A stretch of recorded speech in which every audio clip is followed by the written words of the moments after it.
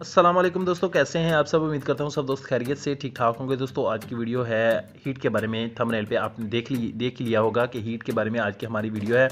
तो दोस्तों, आज की वीडियो बहुत इंटरेस्टिंग होने वाली है उन दोस्तों के लिए जिनके जानवर हीट में नहीं आते या लंबे अरसे तक बहने के बाद हीट में नहीं आते। सोने के बाद जो लंबा दाबा मार जाता है हीट में नहीं आता, खासतौर पर भैंसें और झोटियाँ जो कि लंबे अरसे तक बोलती नहीं हैं हीट में नहीं आती हैं, या पहलन झोटियाँ जो होती हैं वो हीट में नहीं आती हैं, बोलती नहीं हैं। दोस्तों तो आज मैं आपको बताऊँगा इस बीमारी के बारे में या इस वजह के बारे में, इन वजूहत के बारे में आज हम डिस्कस करेंगे, जिनकी वजह से जानवर हीट में नहीं आता। दोस्तों, सबसे पहले मैं आपको बताता चलूँ कि जानवर जो है हमारा हीट में आता क्यों नहीं, उनकी वजूहत पर हम थोड़ी सी बात करेंगे।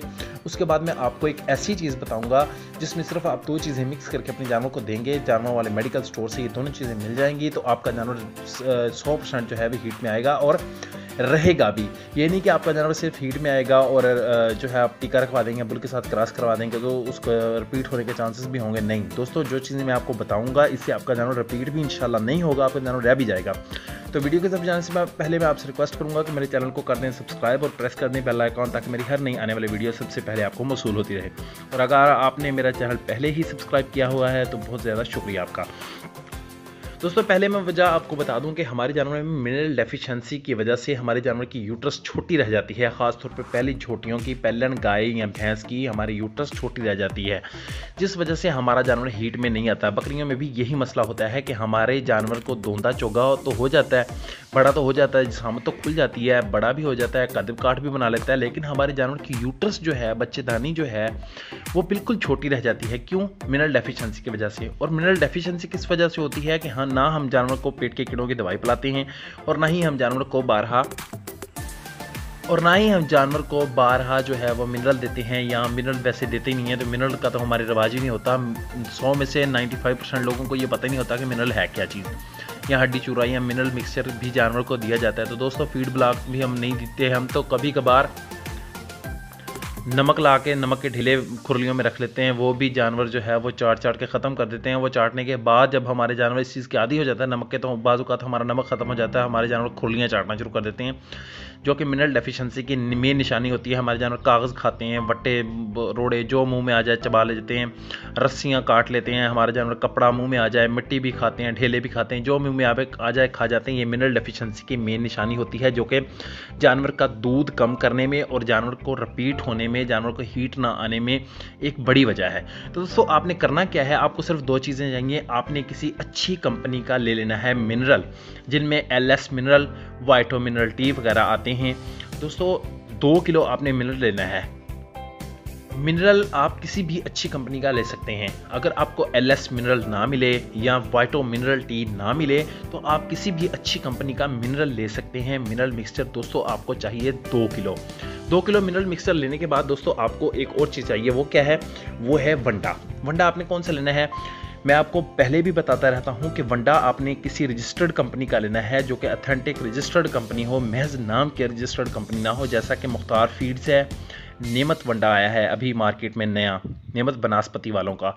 वो है पंजनंद फ़ीड है, उसके बाद अलकरम वंडा है, कैप्टन वंडा है। दोस्तों, आपने लेना है मीट वंडा, यानी कि गोश्त वाला आपने वंडा वंडा लेना है। दोस्तों, वंडा आपने कितना लेना है? वंडा आपको चाहिए दोस्तों 20 किलो।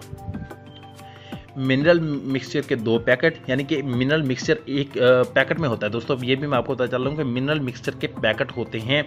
आप चाहे एल एस मिनरल लें या चाहे आप दूसरा मिनरल वाइटो मिनरल टी ले लें, उसको आपको किलो किलो के दो पैकेट मिलेंगे। आपने दो पैकेट वो लेने हैं और 20 किलो आपने वंडा लेना है।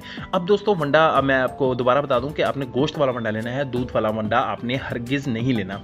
ये बकरी नहीं बकरी को आप ये नहीं खुराक नहीं बता रहा, ये बड़े जानवर की खुराक बता रहा हूँ। गाय है या भैंस है, पैलन है, दूजे वाले है, फ्रीजन है जितने वाले भी है, आपका जानवर हीट में ज़रूर आ जाएगा इन बफजल खुदा।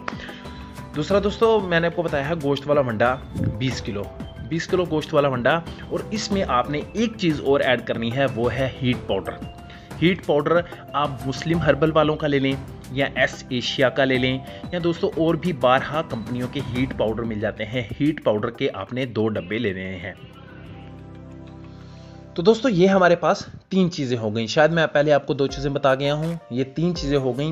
एक आपकी हो गई एल एस मिनरल या वाइटो मिनरल के दो पैकेट किलो वाले, या डब्बा होता है एल एल एस मिनरल का। वो दो डब्बे या दो किलो मिनरल अच्छी कंपनी का आपके पास हो गया। उसके बाद आपके पास किसी अच्छी कंपनी का गोश्त वाला वंडा हो गया 20 किलो।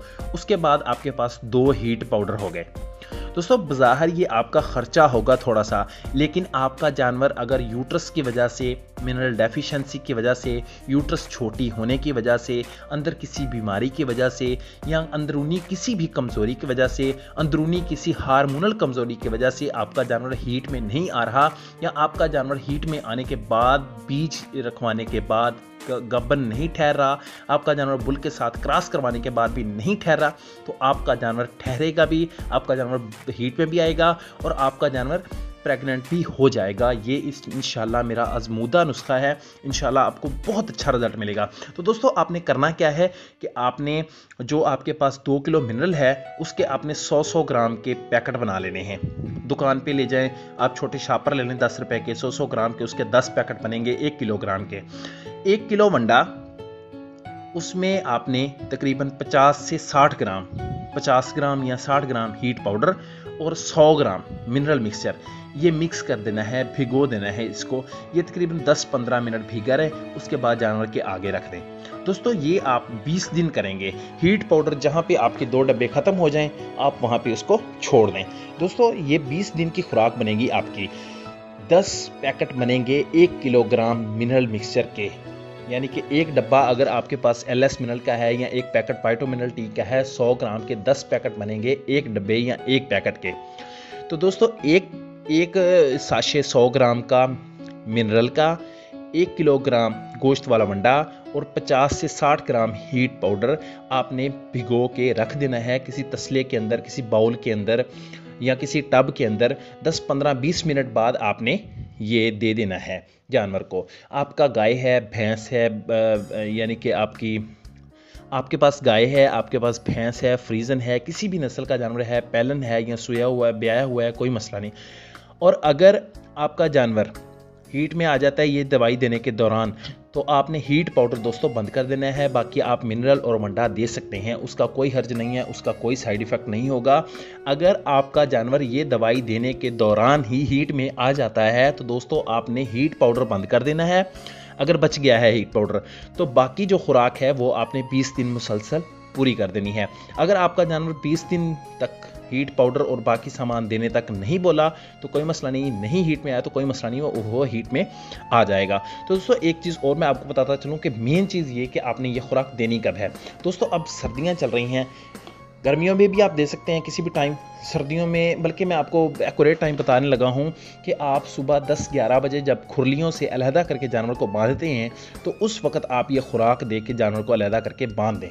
इन आपको 12 से 18 दिन में वीआईपी रिज़ल्ट मिलेगा। इन आप खुश होंगे, आप दुआएँ देंगे इन तो वीडियो अच्छी लगे तो दोस्तों के साथ शेयर करनी है लाइक करनी है और चैनल को मोहब्बत, प्यार के साथ अगर आप नए हैं तो सब्सक्राइब कर देना है। आज के लिए बस इतना ही। अब इजाज़त दीजिए अपने डेली गाइड को। फ़ी अमान अल्लाह अल्लाह हाफिज़ अल्लाह निखेबान